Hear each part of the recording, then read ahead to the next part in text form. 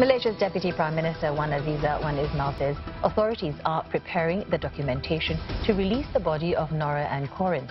The 15-year-old special needs teenager was found dead days after going missing from a rainforest resort in Seremban. Postmortem findings yesterday ruled out foul play and revealed that Nora died of internal bleeding, likely due to starvation and stress. But Nora's family said their daughter died in extremely complex circumstances and are hoping for more answers to her death. North Korea has test-fired more missiles in protest against joint military drills being carried out by South Korea and the United States.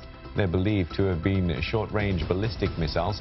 Pyongyang also dismissed a call for dialogue by South Korea's president, calling him an impudent guy. It said there'll be no more peace talks with Seoul, but didn't rule out more discussions with the United States.